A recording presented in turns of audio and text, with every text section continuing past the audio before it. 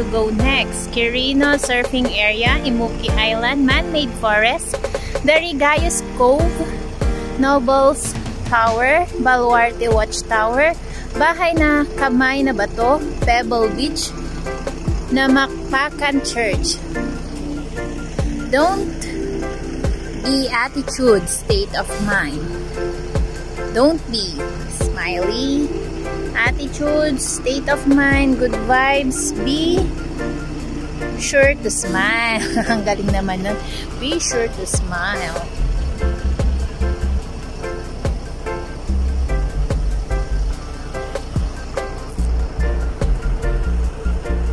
Ay. No salty shellfish sees the day. Oh, for sure.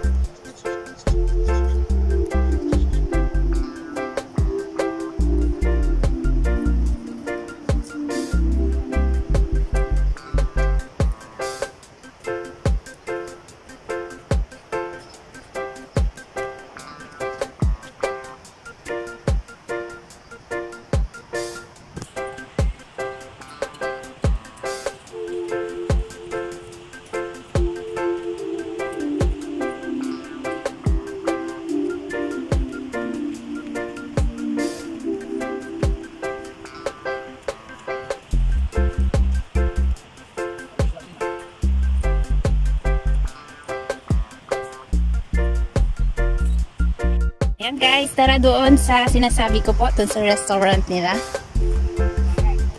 So before that, punta tayo muna dito sa saglit. Parang nakita ko, na-hook ako doon sa nakita ko. Parang ang clear kasi nung water ditong part. So silip tayo guys ha, silip lang. Okay. So ganito yung encounter natin sa dagat. Di ba maganda talaga mamasyal, mag-explore. So, ayan guys. So, tingnan natin. Wow! Look! May mga fishes pa guys. May small fishes. Ang clear ng water. Look, oh! Ang clear. Ayan. Hindi katulad minsan sa mga ibang beaches na napupuntahan ko. Ang dumi guys. Pero ito, pwede ba akong umakyat? So, ayun. Tignan nyo, oh. Ang clear ng water. And then my little fishes. Hi, ang ganda. Oh, ang ganda sanang ibabad yung paa dito. Ano? Grabe. Ang ganda lang guys. Nakakatuwa talaga yung ganito. Simple lang yung mga tanawin pero nai-enjoy mo siya kahit na paano. So, nagpapasalamat din ako talaga sa work ko dahil sa work ko, nakakapasyal-pasyal din kami kahit pa paano. So, thank you, thank you so much. So, ayan o, oh, ang ganda. Ang linis. Ayun na yung mga seaweeds doon, no? Kaso, hindi ko na kaya pumunta doon, guys. Medyo, alam nyo na, nakapants tayo ngayon. So, ayan. Ganyan lang muna. So, that's it. That's the look in here. So, ayun. Doon ako galing kanina, guys. Ayan. So, let's go! Thank you so much. Ayan. Ang ganda-ganda. Ang clear talaga. Kung pwede ko lang sanang ikwan. O, yun yung shadow ko. Ah, ako yon. Ayan. So, let's go, guys.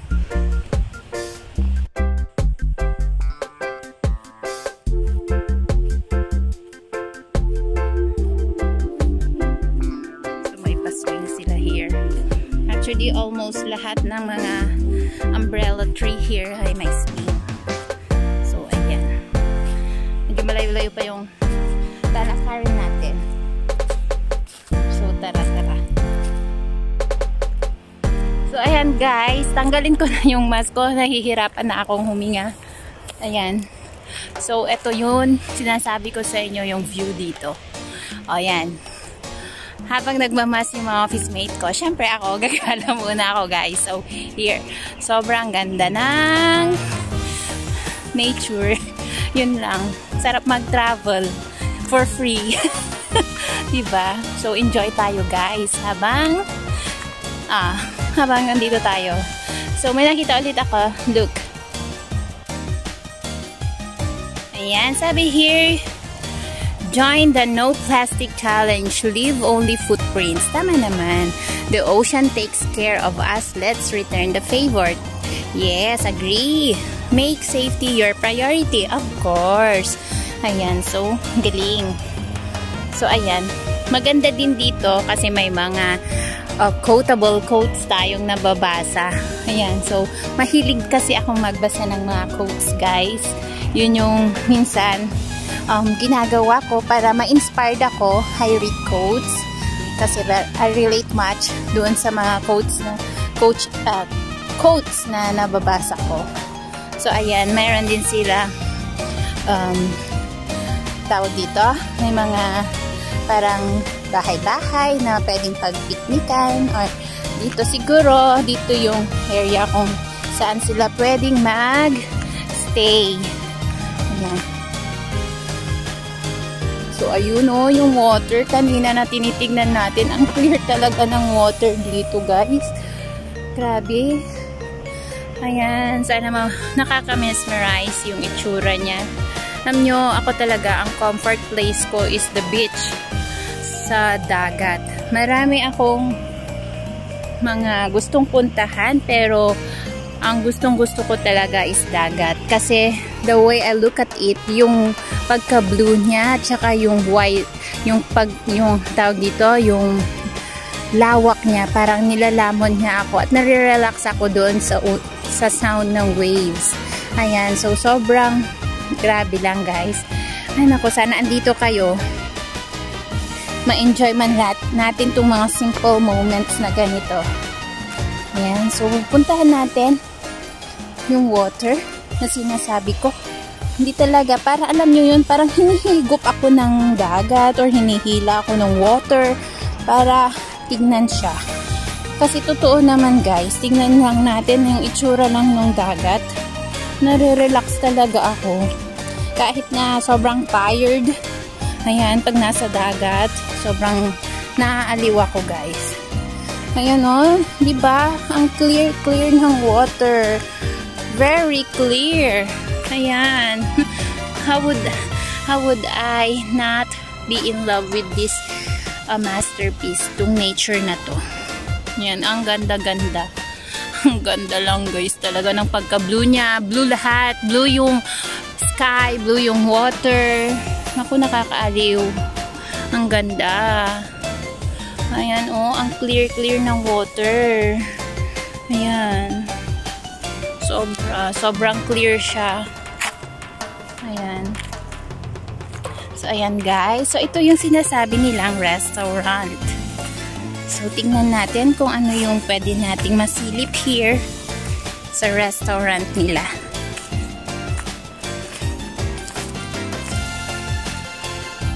So, ayan guys. Ang init, pero ini-enjoy ko yung araw. Minsan lang naman tayong mababad sa araw eh, di ba? So, yan. Siyempre, ilugay ko na yung hair ko para hindi naman ako magitim na ng bonggang-bongga. So, ayan. Napagod akong maglakad-lakad guys, pero worth it naman yung pagod ko. So, ayan. So, andyan. Grabe. Grabe talaga. So, hmm. enjoy lang tayo guys.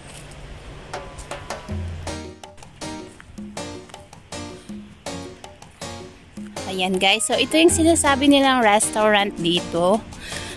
Ayan. I don't know if um, still functioning. Pero I guess maganda tong place. Yan. Silip tayo guys. Para alam naman natin. For instance, may maikwento naman tayo pag may nagtanong tayo. May, kung may nagtanong sa atin, I mean, di may maikwento naman tayo tungkol sa DIMSU FRTI. Ayan. So, ganito siya. So, okay. Pero din dito sa first floor, first floor, ground floor. Ayan. So, ito yung makikita natin. So, ayan guys. Diba? Yung view. Nakaka-relax lang. Ganda. Sobrang ganda. So, ito siya guys. Ayan. And then, I guess may two floors pa. Siyempre, hindi na tayo akyat guys, ha?